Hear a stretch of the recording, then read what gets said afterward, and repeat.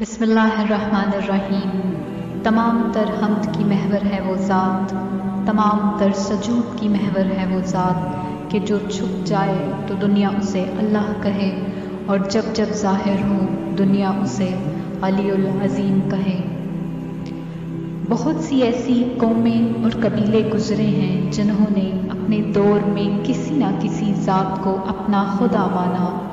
جن میں سے ایک مشہور ترین قوم ہے جسے نصیری کے نام سے جانا جاتا ہے۔ اور یہ قوم آج بھی کثیر تعداد میں مختلف ممالک میں آباد ہے۔ جن میں سے ملک شام سر فہرست ہے۔ نصیریوں نے تمام مذاہب کے خداؤں اور عقیدوں سے منہ پھیر کر ایک ایسی ہستی کو اپنا خدا مانا جو مظہر العجائب ہے، انبیاء کا مددگار ہے۔ اور جسے قوم شیعہ میں مختلف القابات سے پکارا جاتا ہے یعنی عین اللہ، وجہ اللہ، ید اللہ، لسان اللہ، جنب اللہ، قلب اللہ، راس اللہ، ذل اللہ۔ اور صرف یہاں تک نہیں، رسول اللہ نے جس کا ہاتھ تھام کر، بلند کر کے تمام عالم اسلام اور ایمان والوں کو دکھا کر اعلان کیا کہ جان لو، جس جس کا میں مولا اس اس کا علی مولا ہے۔ جب سے میں مولا ہوں، تب سے علی مولا ہے۔ اور تمام عالم اسلام کو ان کی امامت اور ولایت پر ایمان لانے کی دعوت دی گئی۔ بس اس ہستی کا دیدار جب قوم نسیری نے کیا، تو وہ اتنے گرویدہ ہوئے، مولا علی کو دیکھ کر کہ فوراً سجدے میں گر پڑے اور کہنے لگے، تو ہی ہمارا رب ہے، تو ہی اللہ ہے ہمارا۔ اور مولا علی نے منہ پھیر کر کہا، خبردار، میں اللہ نہیں ہوں. مگر وہ قوم اس قدر مولا علی کی محبت اور جلال کی گرویدہ ہوئے کہ علی کے سوا کچھ قبول ہی نہ تھا انہیں۔ اور آج بھی وہ قوم آباد ہے مختلف ممالک میں۔ ایسی ہی ایک قوم کے بارے میں آج ہم آپ کو بتائیں گے، جس نے مولا علی کے صاحبزادے، مولا عباس کو اپنا خدا مانا اور ان کا طواف کیا۔ سن سولہ سو بیس میں یورپ کی ایک ریاست البانیہ سے کچھ افراد کربلا روانہ ہوئے۔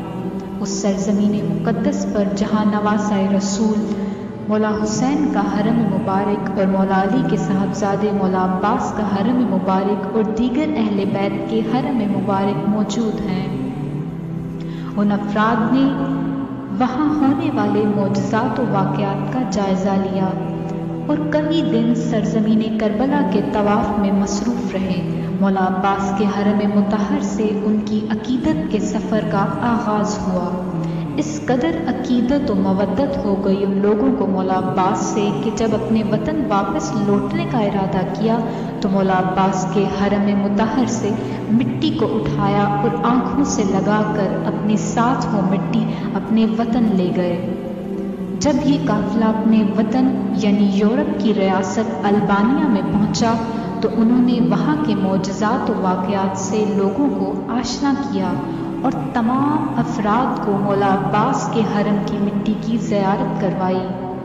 لوگوں کی کثیر تعداد نے اس مٹی کو شفا کے طور پر آنکھوں سے لگانا شروع کیا اور پھر ایک وقت ایسا آیا کہ وہاں کے حاکم نے حکم دیا کہ اس مبارک مٹی کو ہماری ریاست کے سب سے بلند پہاڑ پر لے جایا جائے اور وہاں اس مٹی کے گرد طواف کے لیے ایک گنبد تعمیر کیا جائے تاکہ دور دراز سے آنے والے افراد بھی کسی وقت اس مبارک مٹی کی زیارت کر سکیں اور اپنی حاجات بیان کر سکیں۔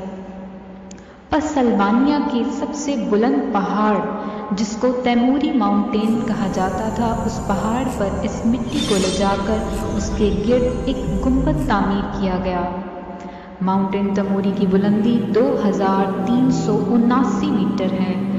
مختلف ممالک اور گرد و نواح کے لوگ ماؤنٹ تیموری پر موجود گنبد کا طواف کرنے آتے اور وہاں سجدہ کرتے اور اپنی حاجات طلب کرتے۔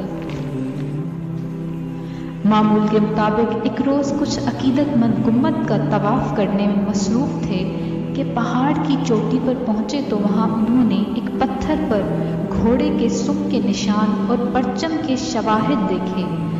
جو پتھر پر مکمل طور پر چسپاں ہو چکے تھے، ان عقیدت مندوں نے غیر ارادی طور پر خود کو سجدے میں گرا دیا اور اپنے دل کی آواز کو سنا۔ شور و غل اٹھا کہ عباس ابن علی نے اپنے گھوڑے اور علم کے ساتھ اس پہاڑ کا دورہ کیا ہے اور اس روز سے اس پہاڑ کا نام ماؤنٹ تیموری سے عباس علی تیموری رکھ دیا گیا۔ اور وہاں کے عقیدت مند مولا عباس کو خدا ماننے لگے۔ ماؤنٹ عباس علی تیموری کے گرد ہزاروں جانوروں کی قربانیاں کی جاتی ہیں۔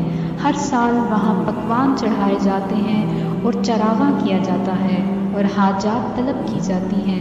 عقیدت مندوں کا کہنا ہے کہ مولا عباس کربلا سے گھوڑے پر سوار ہو کر البانیہ آئے اور تیمور کو فتح کیا۔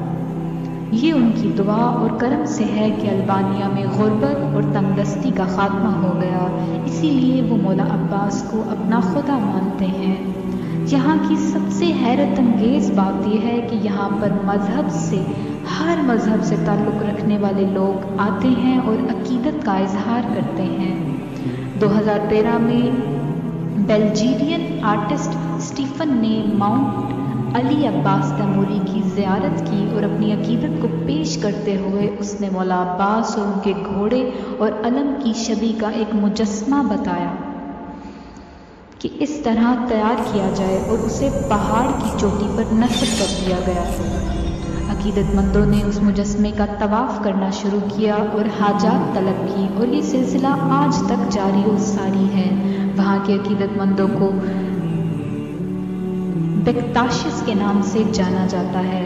بکتاشس یعنی مولا عباس کی پوجا کرنے والے۔ اگر آپ کو ہماری ویڈیو پسند آئے اور مزید ایسی معلوماتی ویڈیو دیکھنا چاہتے ہیں، تو گزارش ہے کہ ہمارے چینل کو سبسکرائب کریں اور ویڈیو کو لائک کریں اور اپنی رائے کے لیے کمنٹ ضرور دیں۔ سلامت رہیں۔